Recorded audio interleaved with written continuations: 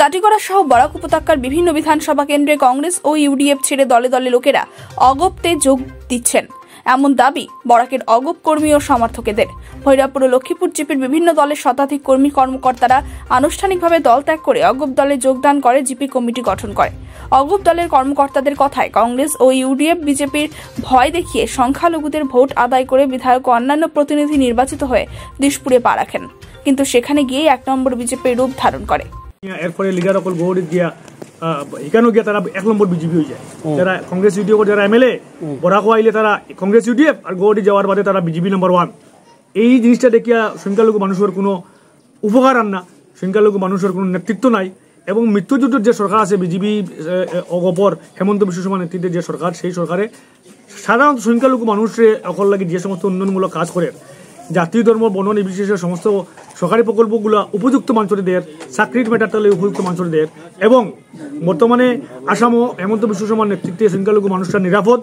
সেই হিসাবে অসম গণ পরিষদ দল যেহেতু সরকারে আসলো এই হিসাবে সাধারণ মানুষের উপকার করার লাগিয়া এবং এলাকার উন্ন- উন্ন- উন্নয়ন করার লাগিয়া আমি অসম গণ পরিষদ যুক্ত করছি। মানে ইয়ে জুট তারা জুট মৃত্যু হিসাবে- ইয়ে জুট হিসাবে। মানুষের মানে আম মানুষের একটা কথা হইল।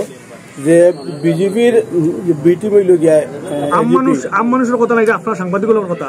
আম মানুষের গত দেড় বছরে বুঝি লিছে যে এই এই এই দর দেখাইয়া এই এই এই এই- জিও দেখাইয়া বয়ে দেখাই দেখাইয়া মুসলমানের মাথা বেচা হয় এবং গুয়াহাটিত গুয়াহাটি যাবার বাদে সংখ্যালঘু মানুষের কোনো ধরনের উন্নয়নের মেটার লইয়া উন- উন- উন্নয়নের মেটার লইয়া কোনো মাত কথা মাতে না। গতিকে আপনি যে- যে- যেটা কইতে যে বিজেপির বি টিম বিজেপির বি টিম সবচেয়ে বড় বিজেপির বি টিম হইল ইউডিএফ এবং কংগ্রেস।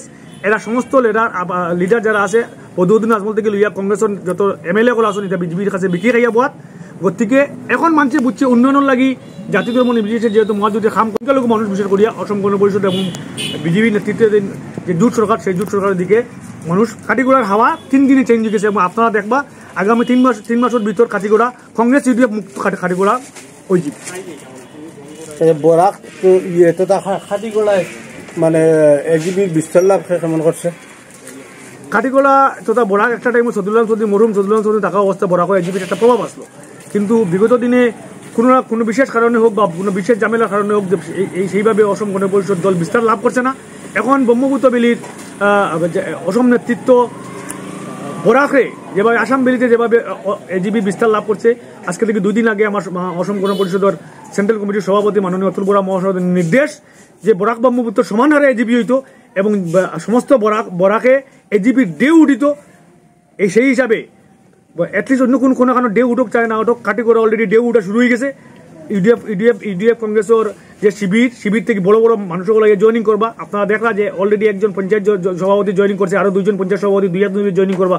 ইউডিএফর আজকে আপনারা দেখছেন লক্ষ্মীপুরের ইউডিএফ মন্ডল সভাপতি এই সভা তাইছেন এবং তাই নয় জয়েন করটা খাটিগোড়ার ইউডিএফর যুব ইউডিএফ ইউডিএফর সমস্ত মানুষ যারা, এরাও ইউডিএফর অসম গণ পরিষদ দলে যুক্ত।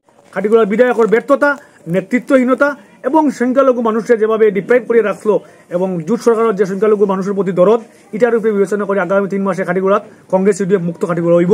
এটা আমার দৃঢ় বিশ্বাস এবং খাঁচারও খাটিগোড়া একটা শক্তিশালী ইউডিএফ হইব। সরি একটা শক্তিশালী অসম গণ পরিষদ দল গঠন গঠন হইব। এটা কনফার্ম মানুষের যে একটা ধারণা আছে এই ধারণাটা আপনার কাছে কীরকম? রাজনৈতিক ক্ষেত্রে মানে দুইটা দল আছে কংগ্রেস আর ইউডিএফ। মানুষ অনেক সময় লুবে হোক বা জিও হোক, তারা পিছনে থাকে। কিন্তু থাকতে থাকতে মানুষের মধ্যে এখন দেখা গেছে যে এটা কিছু নাই।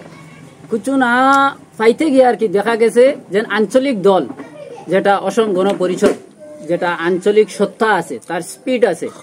হ্যাঁ যার জন্য কংগ্রেসে, কংগ্রেস তার ইডিএফ থাকিয়া দলে দলে এখন যোগদান করিয়া এজিপিত জয়েন করডা। সেটা আমার ভাই জাহাঙ্গীর ভাই দল আমরা দল জয়েন করছেন এই দল জয়েন করার সাথে সাথে একটা কাটিগোড়ার মধ্যে একটা জাগরণ সৃষ্টি হয়ে গেছে। আশা করি আমরা এই কয়েক দিনের, কয়েক মাসের মধ্যে আর কি মানে এই দল খাটিগোড়ার মধ্যে, সমস্ত বরাক উপত্যকার মধ্যে খাটিগোড়ার মধ্যে একটা শক্তিশালী অবস্থানে অবস্থান করে। শুনলাম যে লোকমুখে শুনলাম এটা একটা চর্চা শুরু রয়েছে আপনারা অন্য দল মানে কোনো পোর্টফুলি না পাওয়ায় আপনারা এজিবিতে জয়েন করছেন। না এরকম তো কোনো কিছু আমরা জানা নাই। আর আমরা দেখো আমরা আমি কইলাম যে আমরা সত্তা যে আঞ্চলিক সত্তা আঞ্চলিক সত্তা যার মধ্যে ঢুকি যাইব সে কিছু যদি নাও হয় ও দলও মরে যাইব গিয়া। সেই হিসাবে আমরা দল আছি। আমরা বিরোধী আসনও ছিলাম। এবং বরাক উপত্যকায় মরহুম শহীদুল আলম চৌধুরীর মারা যাওয়ার পরে দল সত্যি একটু মুখ তুবলে পড়েছিল। আমাদের সঠিক নেতৃত্বের অভাবে দল এমন সামনে দিয়ে আগুয়ে যেতে পারছে না। বর্তমানে দলের সম্মানিত সভাপতি অতুল বোরা মহাশয়ের নির্দেশে বরাক উপত্যকা সহ গোটা কাঠিগোড়ায় দলকে কীভাবে এগিয়ে নেওয়া যায়, তার জন্য জোর কদম প্রচার চলছে গ্রামে গঞ্জে। এবং আমি আশা করি, যেহেতু আমরা মিত্র জুটে আছি, আমাদেরও দুইজন মন্ত্রী আছেন, বিভিন্ন দপ্তর রয়েছে আমাদের হাতে। আমি একজন, সবশেষে একজন কাটিগোড়াবাসী হিসাবে কাঠিগোড়াবাসীর প্রত্যেক সম্মানিত জনসাধারণের কাছে আমার বিনম্র আবেদন। আমাদেরকে সহযোগিতা করেন। আমরা সহযোগিতার হাত হারিয়ে বাড়িয়ে দিয়েছি। যতটুকু সম্ভব মিত্রজোট সরকার থেকে আগের সরকারের তুলনায় আমরা খাটিগোড়াতে উন্নয়নের চিহ্ন নিশ্চয় রেখে যাব। বিগত অসম গণ পরিষদ দলের সরকারের আমলে আমাদের কাঠিগোড়ার আনাচে কানাচে অনেক নিদর্শন রয়েছে উন্নয়নের। সেটা আশা করি আমাদের পরবর্তী প্রজন্মর যারা রাজনীতি করবে তাদের জন্য সেই উদাহরণ আমরা রেখে যেতে চাই। আর আশা করি কাটিগড়ার জনগণ সেই আমি আমার নাম হুসেন আহমেদ। ভৈরবপুর জিপি উত্তর নাতানপুর বোর্ড কমিটির সেক্রেটারি। কি কোন আজকে আমরা এজিবির মানে জয়েনিং করছি। এই এজিবির মানে এই জগুলা দেখিয়া মানে সুন্দর শৃঙ্খলা দেখিয়া বা আমরা একটা জহরিয়া ভালো লাগছে। ও কারণে আমরা আজকে জয়েনিং লইছি এজিবির সংস্থা। আপনার নাম কি জামালউদ্দিন।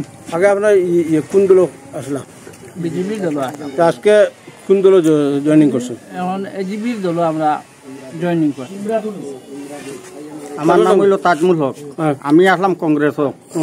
কংগ্রেসও যখন আসলাম তখন আমরা সুস্মিতা দিদি আসলাম আজকালকে সুস্মিতা দিদি নাই। আর বর্তমানে আমরা এরজিবিতে ইয়া আমরা ঢুকছি। ঢুকার পরে এরজিবির কাজকর্ম খুব ভালো পাইছি, ভালো দেখছি। পরিচালনাও ভালো চলে, পরিবেশটাও ভালো চলে- বর্তমানে আমি ভৈরবপুর জিপির প্রেসিডেন্ট মাহমুদ তাজমুল হক। কালাইন থেকে আব্দুস সুবহান লস্করের প্রতিবেদন, তরঙ্গ টিভি বাংলা।